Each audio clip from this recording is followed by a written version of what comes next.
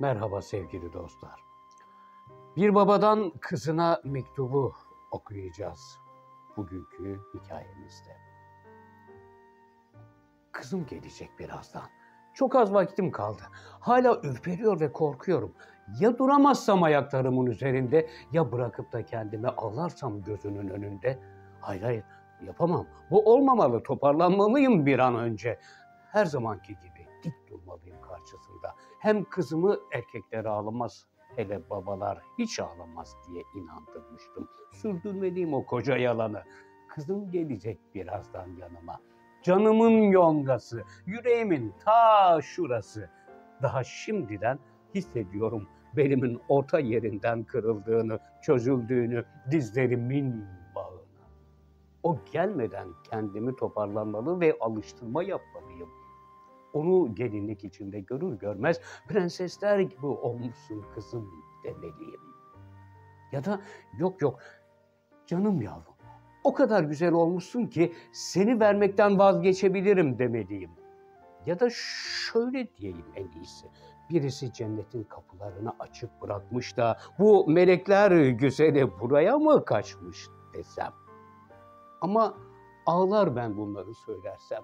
Zaten o o benim hep prensesim, hep melekler güzelimdi.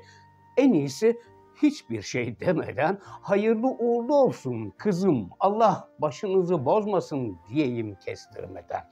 Ama bu da çok katı olmaz mı? E olsun. Zaten kızım beni hep katı bilirdi. Bir yere gitse neredeydin diye kızgın kızgın sorardım. Gittiği yerden geç gelse kız başına bu saate kadar ne geziyorsun diye kızardım. O da surat asar, bazen karşılık verir giderdi karşımda. Ama benim ona hep kızdığımı ve baskı kurduğumu düşünse de hiç kızmadım ben melekler güzelime. Kızamazdım, kıyamazdım. Başına bir şey gelir, incinir, korkar da yanında ben olamam diye titrerdim. Onun tırnağına taş değse benim yüreğime kan akardı. Onun saçının teli kopsa benim yüreğim doğrulmazdı. E, babaydım ben. Sevdiğimi değil de hep tepkilerimi belli ederdim. Hep sevdim onu, belli etmeden. Hep sevdim kızımı. Geceleri az mı izledim gizli gizli uykusunu bölmeden? Az mı dua ettim Allah'ım alma canımı kızımın mutlulukla mürüvvetini görmeden? Kızım gelecek birazdan. Daha doğrusu öpüp elimi helallik isteyecek. Uçacak yuvadan. Boğazım düğüm düğüm, yüreğim iki büklüm.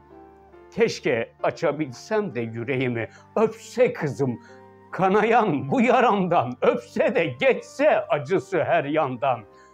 Kızım gelecek ve gidecek birazdan. Kızım, gidiyorsun da yokluğuna nasıl dayanacak bu ruhsuz sandığım baban? Ağlarsam eğer sanma ki sadece mutluluktan. Hepsi ayrılıktan Tomurcuğum. Hepsi ayrılıktan. Çok sevdi seni babam. Çok ağladı içimden ama gözünden yaş akmadan. Hasta olduğunda, düştüğünde, üşüdüğünde, üzüldüğünde katı değildim ben kızım. Sadece sana karşı hassas ve zayıf olduğumu bilmediyeydi hepsi. Yani kınalı kuzum, hepsi yalandan, hepsi korkudan. Seni çok seviyorum kızım. Gidişine kan ağlasam da yine yalan söyleyeceğim sana. Mutluluktan ağlıyorum desem de halbuki ayrılıktan, halbuki yokluğuna alışamayacak oluşumdan güle güle git diyecek kızına bu yorgun babası mutlulukla dolsun diyecek evi, yuvası. İncinmesin yüreğin, akmasın diyecek gözünün yaşı. Kurban olur sana babası. Desem mi ona acaba? Hadi babası, öp de geçsin bu ayrılık acısı. Beyaz gelinliğiyle hayal ettiğim can parem. Üç gün sonra dünya evine girecektin.